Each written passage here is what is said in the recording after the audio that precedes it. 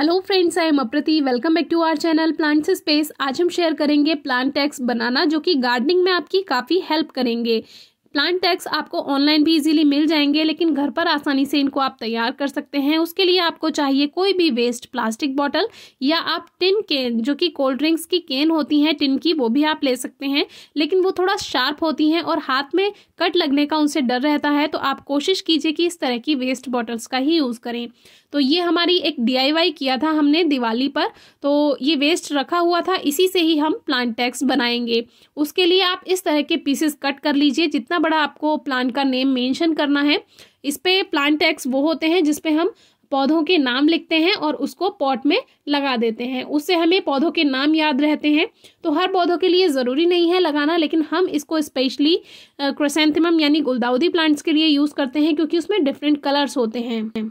और फ्लावरिंग के बाद हमें फिर याद नहीं रहेगा कि कौन से प्लांट का कलर कौन सा था तो फिर हमें थोड़ा सा कन्फ्यूज़न होगा। इसीलिए ये हम कलर से इन पे नाम मेंशन कर देते हैं उससे प्लांट्स की आप बहुत इजीली पहचान कर सकते हैं। तो इस तरह से ये प्लांट टैक्स बना लिया है और ये हमने एक्रिलिक कलर से बनाया है। आप फैब्रिक कलर या एक्रिलिक कलर जो भी है, आप ले सकते हैं।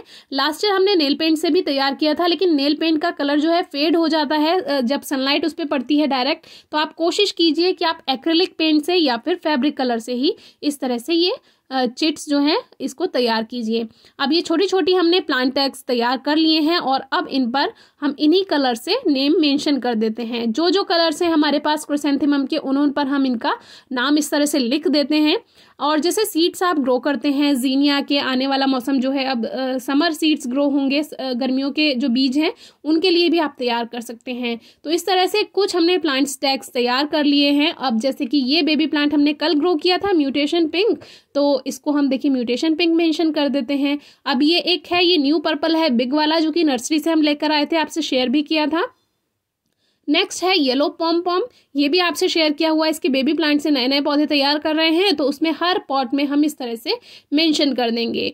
और नेक्स्ट है, ये पुणे से आया था, हमारे लिए गिफ्ट प्लांट हमने आपसे शेयर भी किया था।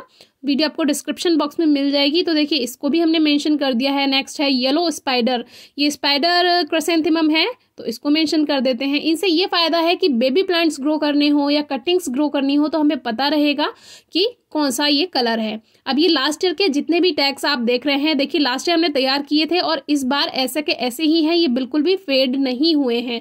और इन्हीं की वजह से हम प्लांट्स का जो कलर है, वो याद रख पाते हैं। तो इस तरह के जो प्लांट टैग्स होते हैं, बहुत हेल्प करते हैं। आपकी।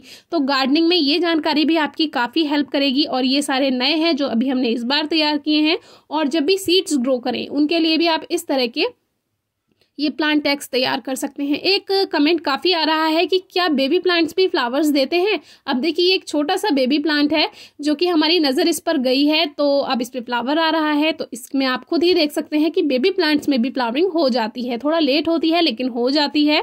और बेबी प्लांट्स को सेपरेट करना ज़रूरी नहीं है, आप चाहे तो ऐसे ही ग्रोथ करने दें, और चाहे तो उनसे नए नए पौधे आप तैयार कर लीजिए। हमारे पास काफ़ी कमेंट्स थे तो ये आंसर करना हमने ज़रूरी समझा।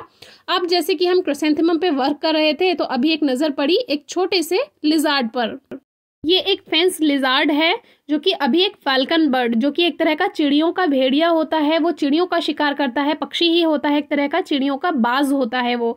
तो वो छोटी मोटी छिपकली या छोटी छोटी चिड़ियों का शिकार करता है तो वो अभी एकदम से यहाँ पर आया और एकदम से उड़ गया। तो अभी हमने देखा कि शायद वो इसी का ही शिकार करने आया होगा और उसने शायद इसको नुकसान पहुँचाया होगा, लेकिन वो ले नहीं जा पाया। तो ये अभी देखा तो ये मरा हुआ हमें एक छोटा सा लिजार्ड मिला।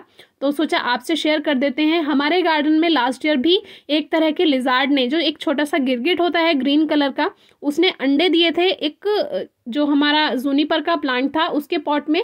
आपसे शेयर किया था डिस्क्रिप्शन बॉक्स में वीडियो ज़रूर चेक कीजिए, अगर आपने अभी तक वीडियो नहीं देखी है तो। तो जो गिरगिट होते हैं, जो ये लिजार्ड फैमिली होती है, ये अक्सर मिट्टी में, जो कि गिरगिट वाले लिजार्ड हैं, ये मिट्टी में अंडे देते हैं और फिर उसको ढक देते हैं और फिर कुछ समय बाद उसमें से छोटे छोटे बच्चे निकलते हैं और वो गार्डन में आपको देखने के लिए मिल ही जाते हैं अक्सर। तो वैसे तो इनकी डिफरेंट स्पीशीज़ होती हैं, प्रजातियाँ काफ़ी होती हैं, लेकिन ये वाली प्रजाति जो है, ये फ़र्स्ट टाइम हमने अपने गार्डन में देखी, लेकिन अफसोस कि ये हमें इस हालत में मिला। तो कोई बात नहीं, और ये वीडियो इसलिए आपसे शेयर कर रहे हैं कि आपको इस तरह का कोई जीव मिलता है तो उसको इस तरह से आप बेकार उसके शरीर को ना होने दें सॉयल से कवर कर दें कहीं पर, साफ़ जगह, अच्छी जगह देखकर, और इसके ऊपर एक पत्थर रख दें, जिससे कोई भी जो डॉग्स वगैरह हैं, इसको नुकसान ना पहुँचा पाएँ। आज की वीडियो कैसी लगी, ज़रूर बताइए। Thank you